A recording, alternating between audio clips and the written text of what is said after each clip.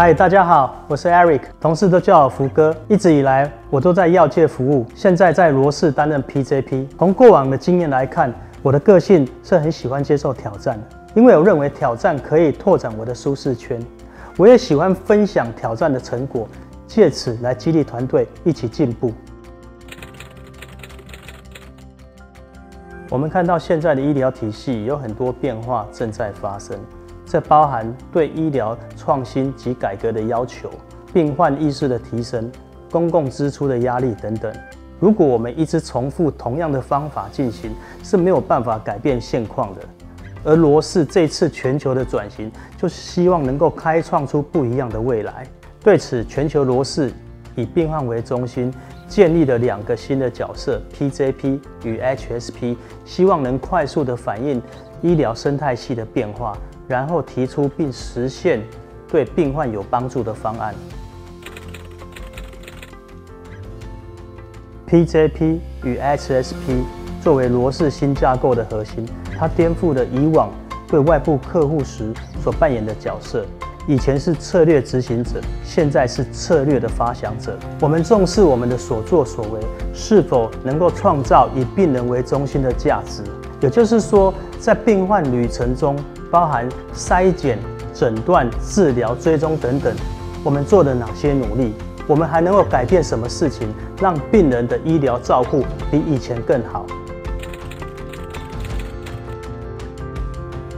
我们主要有三个不同：第一，我们的起心动念不同。之前业绩数字是很多人追求的 KPI，过去我们以绩效为主，现在我们更重视我们能为病患。与医疗体系带来什么价值？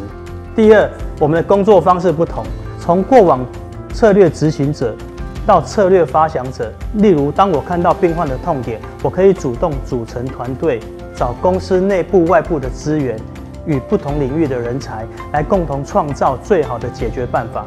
第三，学习的角度不同，以往局限单一方向的发展，而现在 PJP 作为。一个多功能的整合性角色，我们会学习到不同领域的知识与技能。老实说，一开始我对于这个新的角色，我是感觉到迷惘的。在原本的生涯规划当中，我的下一步应该是要带领更大的团队。但是当我听了其他国家的 PJP 分享，也实际参与公司转型的规划，在过程中的学习。与体验让我看到这个角色更多的潜力。我也相信这就是未来的趋势。接受新的挑战，就能发现更多新的机会。So why not？